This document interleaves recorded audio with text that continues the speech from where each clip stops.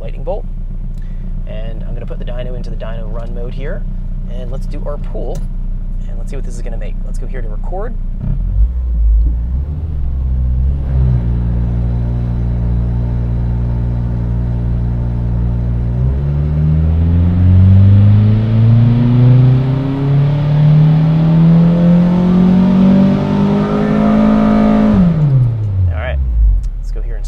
Recording. Now taking a look at the dyno screen, we can see we're here at 166 uh, pound-feet of torque, 167, and 168 horsepower. And what we can find here on the top end of the table is that our torque here is dropping off. So specifically, I'm looking here right around 5,500, 5,000. We can see the blue line. That's going to be our 20 degree. We can see that the green line was our 10 and our red line was our zero. So we're losing power. Now, if we're going to be backing this up and kind of taking a look at this on our uh, overlay here, if we didn't have a chassis dyno, we can see that it's getting rich. And that's going to be telling me that uh, much above here, about 5,000, that going up to 20 degrees is actually not going to be something I want to do. It's going to be losing too much power.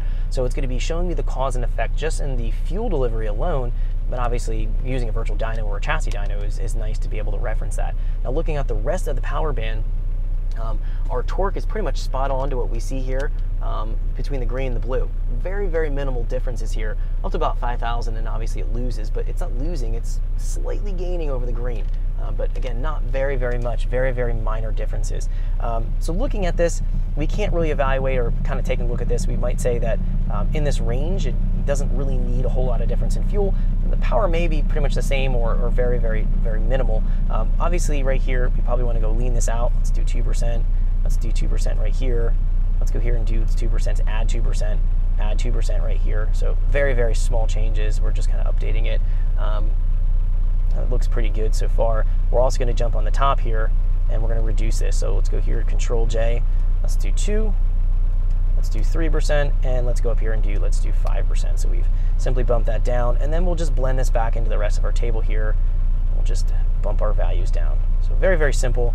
Um, but the top end of the table will give me a very clear indication that I'm losing power. And we can see really drastic differences of 5, 6%, 8%, 10% fuel. That's going to be a clear indication that we're probably losing. If we're seeing 1%, 2%, that's a very min minimal difference, and it's going to be kind of hard to say as you're, as you're evaluating that. Uh, what you'd probably want to pay attention to is what the injector pulse width's doing. So if we actually jump into our graph here, and we're looking across here in our overlay, we could actually see. Thanks for checking out our teaser clip. If you want to see the rest of this video and more than 500 hours of current EFI training we have to offer, make sure you click right here. If you want to go and check out more teaser clips from this training course, click here. And you don't want to miss any of the videos we're going to be releasing on this channel, so make sure you subscribe and click here.